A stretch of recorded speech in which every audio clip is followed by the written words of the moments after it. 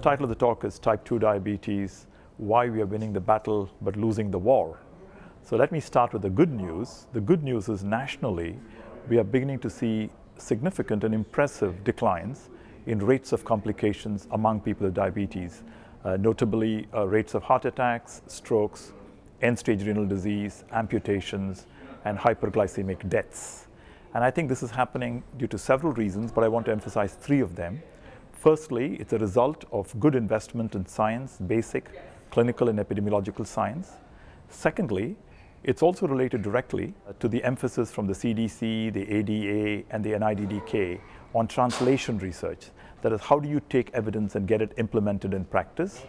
And thirdly, the emphasis on quality improvement nationally and the need to measure changes in quality of care for people with diabetes, largely led by CDC, uh, ADA, NIDDK, etc. So all of this is good news that the, that the people with diabetes are beginning to experience less rate of complications. But the not so good news is that although the rates of complications are going down, the numbers of people with these complications in absolute numbers are actually going up. That's because the prevalence of the disease has been going up and the incidence of the disease has been going up.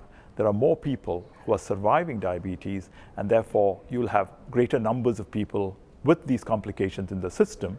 And the implication of that on the healthcare cost is enormous. For example, if you look at Medicare, uh, the leading cause for rising healthcare costs in that population is diabetes. So the question really is how do we now win the war also? And for that, I think we need to emphasize prevention. We need to prevent diabetes in the first place. And there are two things we can do for that. The first is what we can do in the short term. Clearly, there is evidence among people with prediabetes that effective lifestyle interventions can prevent progression to diabetes. But in the first place, we need to identify those people with prediabetes. So we need a screening policy to identify people with prediabetes. And then we need infrastructure to deliver lifestyle interventions to these populations and mechanisms to have lifestyle interventions reimbursed, etc.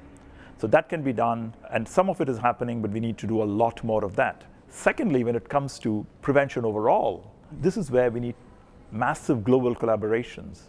Because when you look at the world today, there's an explosion of diabetes worldwide, even in rural parts of low and middle income countries. And a lot of these people are developing diabetes, although their BMIs are still small.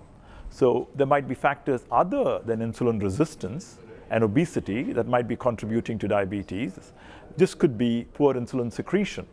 That raises the question of whether we need to start thinking of type 2 diabetes not as one entity, but as several entities, at least maybe a, form, I would call it type 2A, which is related to insulin resistance and obesity, and maybe a type 2B, which is related to insulin secretion.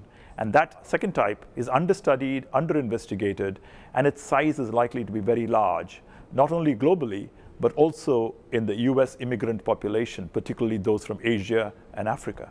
In the US, uh, we have shown reductions in complication rates, but that's not a reason for complacence we now need to turn on the same kind of determination to prevent diabetes. And to do that, we have to implement known lifestyle interventions in people with prediabetes and simultaneously expand global collaborations to study understudied populations that may have different phenotypes of diabetes and from where we can learn of how to prevent diabetes globally and also in the US immigrant populations.